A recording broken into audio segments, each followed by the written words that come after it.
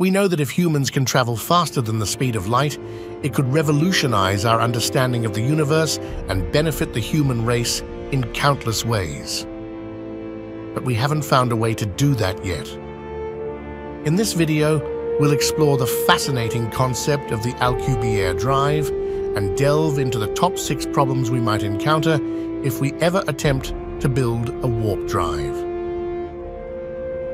Join us on this journey through the challenges and possibilities of faster-than-light travel.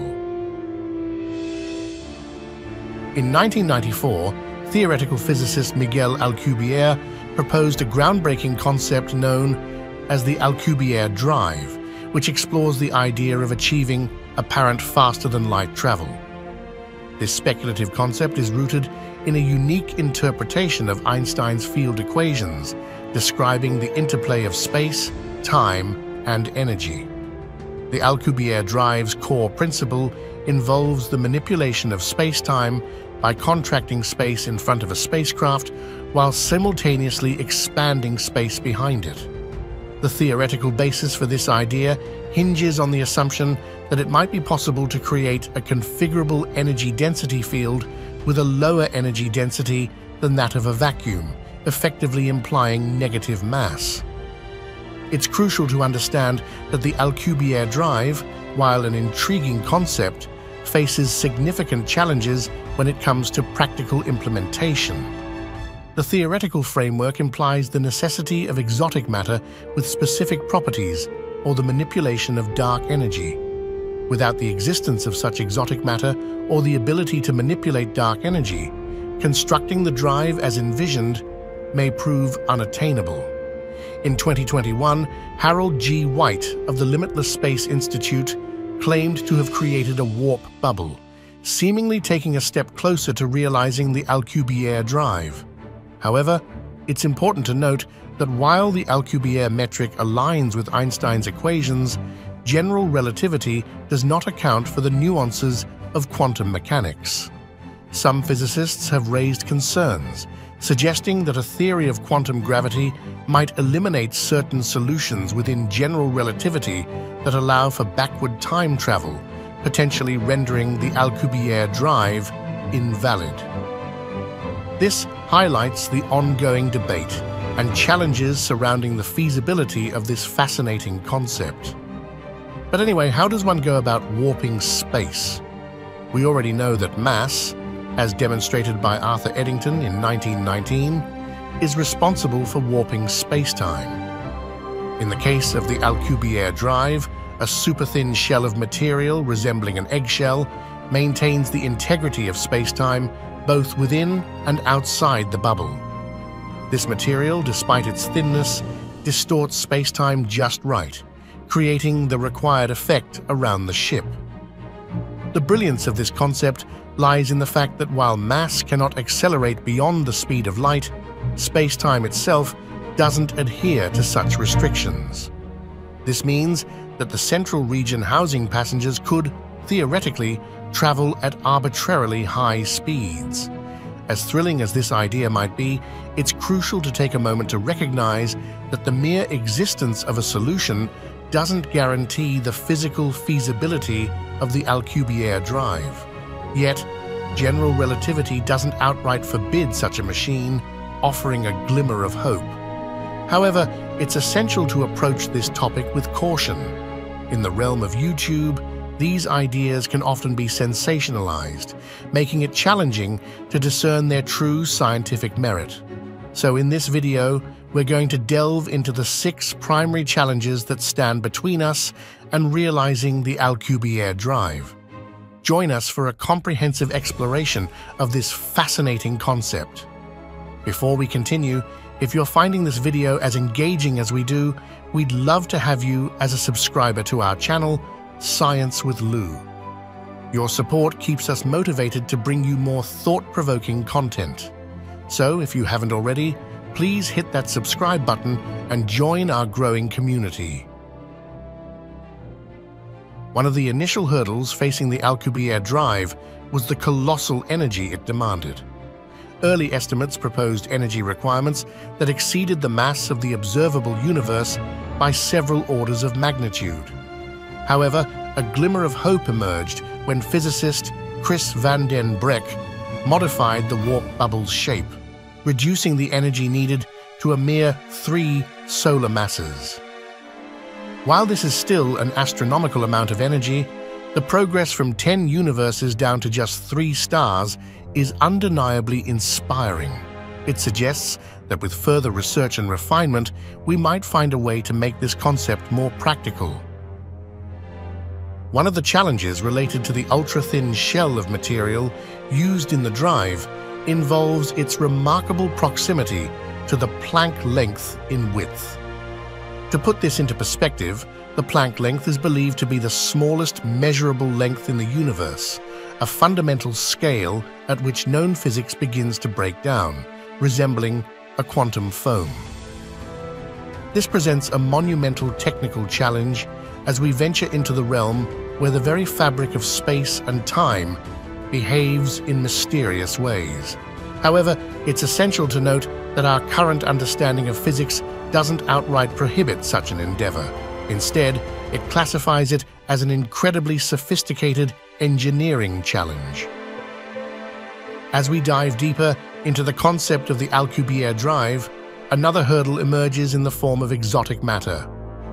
This exotic matter, which requires negative energy or negative mass, violates the weak energy condition in general relativity. The weak energy condition stipulates that all time-like observers must observe a positive energy density. The violation of this condition implies the existence of negative energy or mass, which we term as exotic matter. One ray of hope in this exotic matter challenge comes from the Casimir effect, which demonstrates negative energy pressure due to the quantum vacuum effect.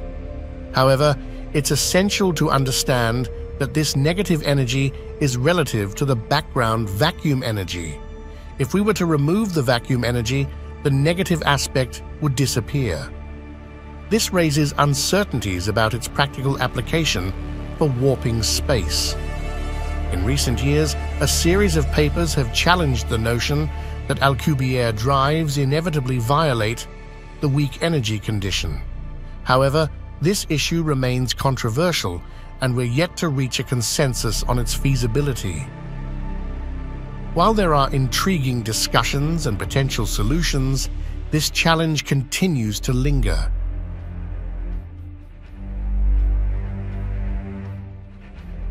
Sergei Krasnikov brought forth a significant issue concerning the Alcubierre drive, the horizon problem. According to Krasnikov, occupants within the warp bubble would have no means to control, steer, stop, or interact with the outside world. The occupants are confined within their bubble, unable to reach the front of the bubble.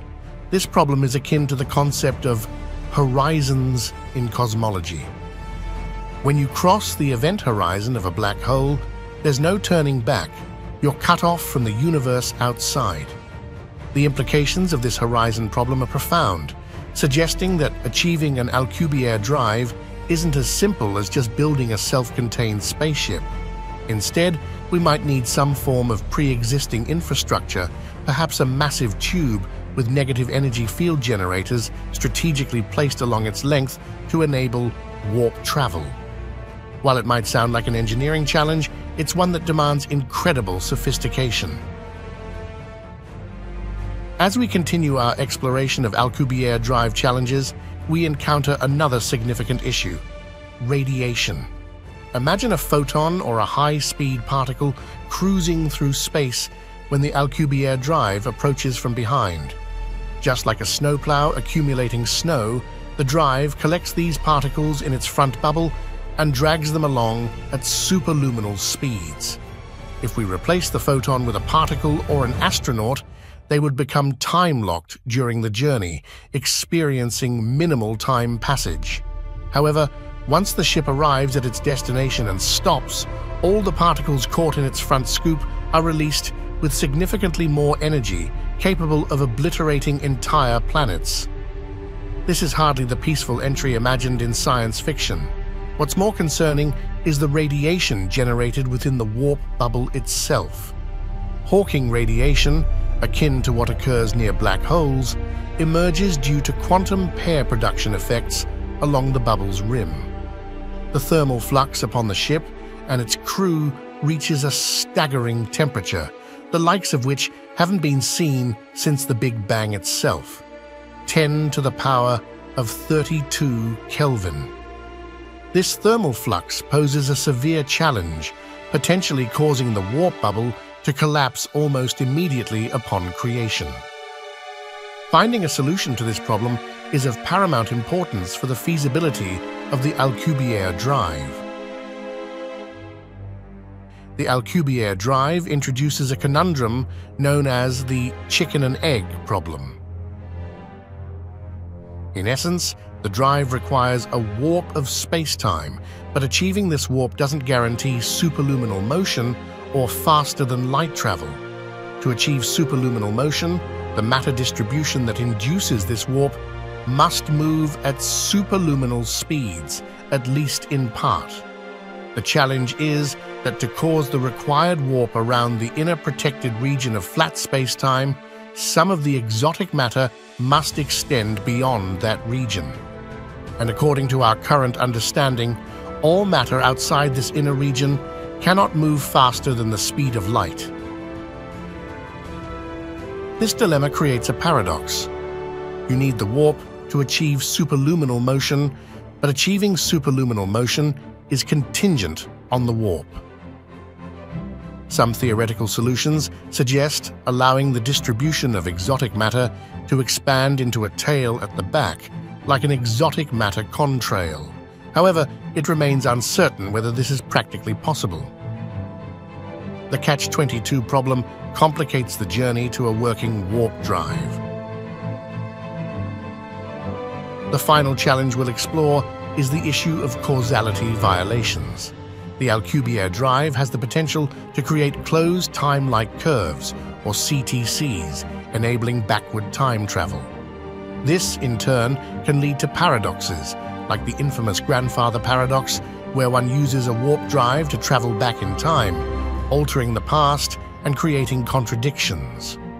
Remarkably, general relativity doesn't explicitly prohibit backward time travel, but it raises questions about the predictability of physics.